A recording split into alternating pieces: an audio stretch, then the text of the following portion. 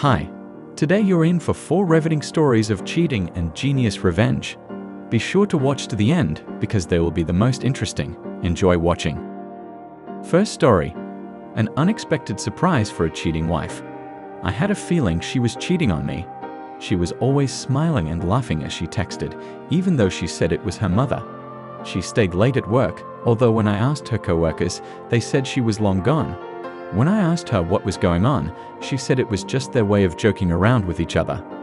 The final straw was when she left for milk at 11:30 at night and didn't come back until 2 hours later. From experience, I can now advise anyone who suspects their partner of cheating, hire a private investigator. They're damn good at their job and can get evidence that will help later in a divorce. Let's go back to her birthday a few months later. Why do you think I waited so long? First of all, I was gathering enough evidence for my lawyer, looking for a new place to live, etc., and then of course it had to be on her birthday. You see, when I asked her what she wanted this year, she insisted that I had better go out of town with friends, saying she didn't care about work and she didn't want to be reminded that she was getting old. I knew she was up to something, and then I found a bottle of champagne and two glasses hidden. So I did what anyone would do. I left, pretending that I was really going out of town with friends, and I called her mother, her father, her sister, and a few of her friends.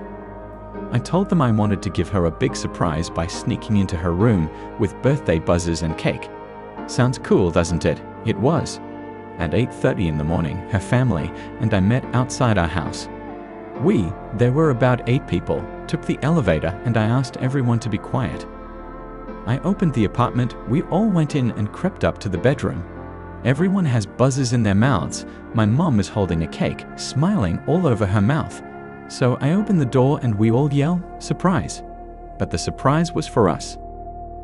My wife was standing in a doggy pose with her lover, staring at us as we had sex. Mom missed the cake, my sister screamed, my father started yelling. I pretended to be terrified, and her friends started pushing everyone out of the room, screaming at her. My wife, excuse me, ex wife was crying and screaming as I could, and my lover was desperately trying to get his pants on as he ran out of the apartment. Needless to say, it was one of the best birthday gifts I ever gave. My wife ended up blaming everyone but herself, blamed her parents for coming unannounced, blamed her sister for being such a bitch, blamed her friends for not telling her about the surprise. All she did was throw things at me and call me names. I loved this woman for two years, and she yelled at me for ruining her relationship with that guy. It's kind of surreal. Second story.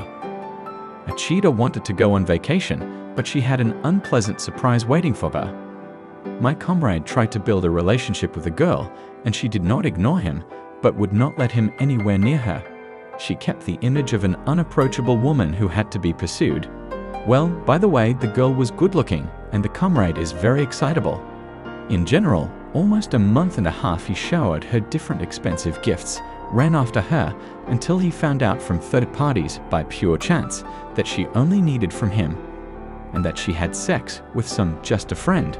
So I came up with a revenge plan. Sitting in a cafe, my friend told me that it was decided to spend the new year in Prague at a friend's house. And further on, he chose the phrases in such a way that it sounded as uncertainly as possible. For example, Not took the tickets for us in business class, but decided that it is necessary to fly in business class, I won't save money, and so on. It was hard, but he made it through. The girl took it all for granted that she too was flying with him, and how else could it be? She picked out a lot of dresses and even ordered a travel bag. Comrade bravely endured and tried not to laugh. Well, the final, in fact. The day of departure, December 30, they meet at the airport to meet at the airport, not from the city to go there together to, a legend was invented, go to the check-in counter and he takes out only one ticket for himself. To the questioning face and eye flapping, he said, What makes you think you're going to? If you're going, you're only going on a dick to your John. Baba in tears, he went on. She spent two days pounding on him in all messengers and texts, asking for forgiveness, saying she realized everything, etc., and then some other bullshit. After that, he sent her pictures of him, how he had a great vacation, and she blocked him everywhere. Third story punished my teacher for intimacy with my girlfriend. My girlfriend, an ex girlfriend, was seduced by my teacher. I found out when I went to his office for an exam, and they were kissing in the office. I felt insanely bad, something tore inside me. I don't feel anything at all anymore. After that incident, I went off to study and work. The instructor tried to talk to me, but you understand yourself, no one needs those words. At first, having found out my situation, the whole group sided with him. After a week, the whole class knew about it, and I was surprised that absolutely all my friends and acquaintances took my side. Nobody listened to the lecturer. We constantly disrupted his lectures and did nothing for classes. He tolerated only two weeks. He complained to the rector about us, but my friends had some dirt on him, and in the end, the teacher was fired from the institute with a great shame. The only thing that does not suit me is that I do not feel better, I do not feel good. I wish that this man did not find a job at all in our city or in our country. He came to my house and asked me to forgive him, but I didn't listen to him and kicked him out. But that didn't make me feel any better either. Maybe I should have talked to the man, I don't know. And the girl dropped out of the institute and went home. I never saw her again. Is there any way to quell this spirit of destruction and vengeance inside me because I just can't find my place? Very tired of being like this, but I cannot forgive the teacher, although I probably should, because I'd do worse to myself. I want to say that if anyone has a similar situation, do not take revenge, it will not do any good. Fourth story A guy can't put his ex girlfriend in her place. Three years ago, I met a guy. He started courting. Two months later, we started dating. We both live in another country. After two months of the relationship, he went to his home country for two weeks. I was really looking forward to him. He came, and everything was fine. After another two months, I name all the dates roughly. I went to my social networking page and found a request in messages from a girl I didn't know. I went in there were three very long texts written at different times. The message was approximately the following You ruined my relationship. You will pay for it. If he won't be with me, he won't be with anyone. His family will never acknowledge you, and I will do anything to make you break up. When he came home, we had sex, and then there was a vivid description of all the details of the intercourse. Of course, I let the guy know about it, he said it was his ex girlfriend and that they had broken up a year ago, and that she had been stalking him ever since and writing nasty things to all the girls who appeared on his social media friends. Said that it was all a lie and she just wants to break us up and that I should not fall for her provocations. So I did. I blocked her everywhere I could. I blocked her, but doubts entered my head. Was it true or was it a lie? And yes, I had acted immorally and gotten into the guy's phone. It turned out to be all true. What's more, this ex wasn't the only one he slept with when he left. There was another girl, and the worst thing that struck me was that he had discussed it all with his father. Their correspondence treated the opposite sex like things. They spoke very unflatteringly about all the girls, writing that they were all of easy virtue there were intimate photos that they both sent to each other as trophies, including mine. Also, my father kept saying, Don't marry her, me. She's not beautiful. You deserve better. She just wants a baby with a handsome boy. To which my boyfriend replied, Yeah, she's not worth it. Of course, I was humiliated by this. I confessed to my boyfriend that I had read it.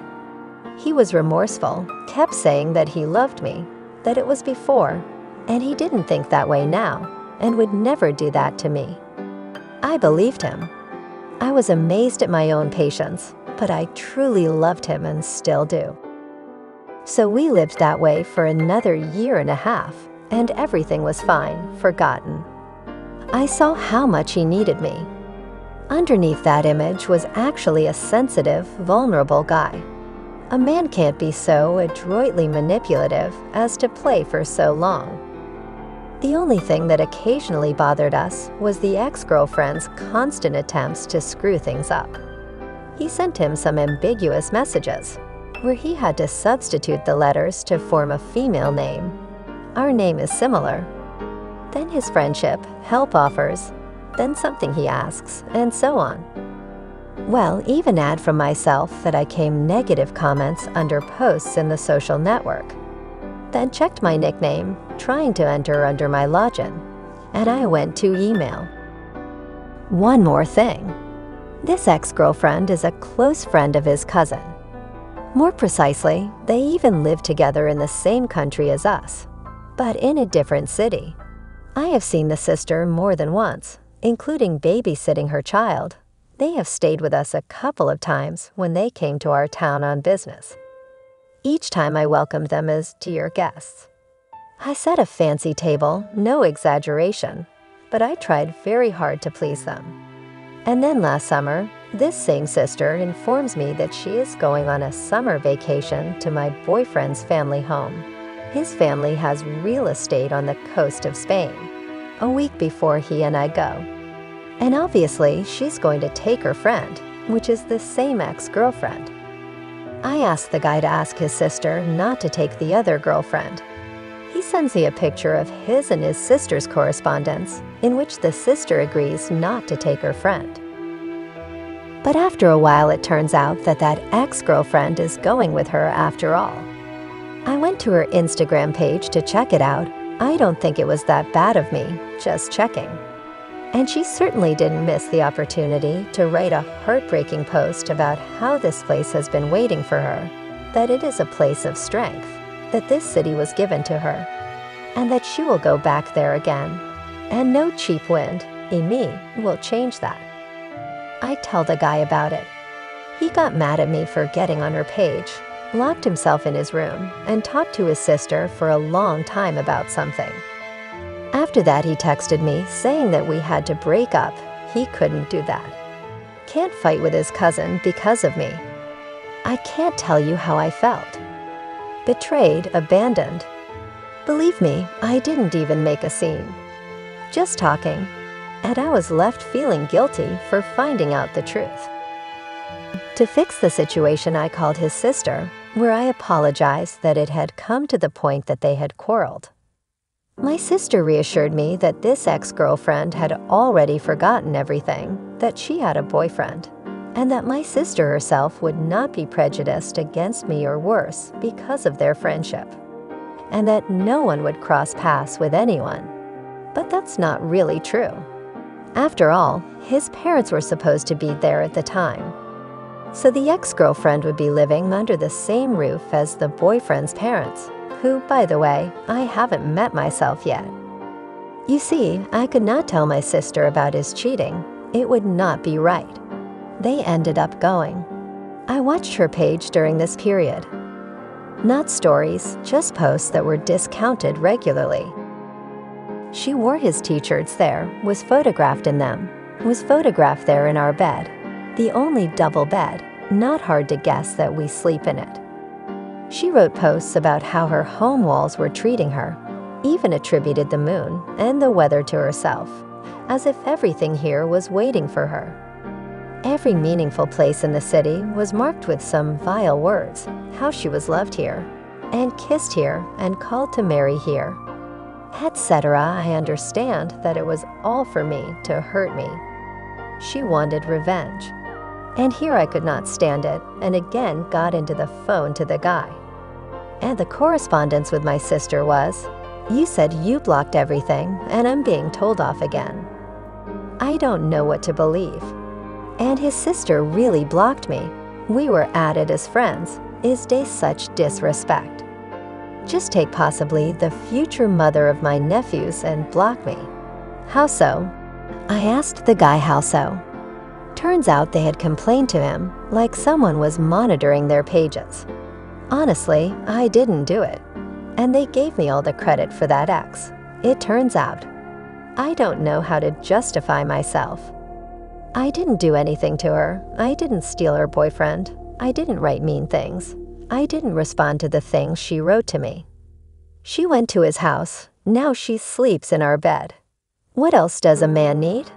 Then again, it turns out that his sister and ex-girlfriend took tickets to Spain this year for the whole month of August, which is the time we always went there. They didn't give anyone any notice. They didn't ask. They just put it in front of them. Now we're not going. What's more, when I found out, I went in to see her again, and there was just a bacchanalia of humiliation in my direction. That I was toxic, that I was stupid, that she was better than me at everything, etc. Every barred phrase is directed in my direction, sometimes very, very rude. Sometimes even puts up a picture with him. And his sister likes it all. I am offended. It turns out the person who is fighting with me sets up his relatives against me and even encouraged for it. This is my territory. I am the real girl who takes care of him and helps. I got him a job, helped with housing, cooking every day, doing laundry, cleaning, went with him to all the hospitals when he had surgery, and not only. It was me. No cousin, no UX, no parents, of course. We all live in different cities and even countries. But that doesn't negate my efforts. All he suggests I do in this situation is ignore. I've tried, but it doesn't last long. Resentment for betrayal and injustice takes its toll. And I go back again and torment myself with thoughts. And I am desperate.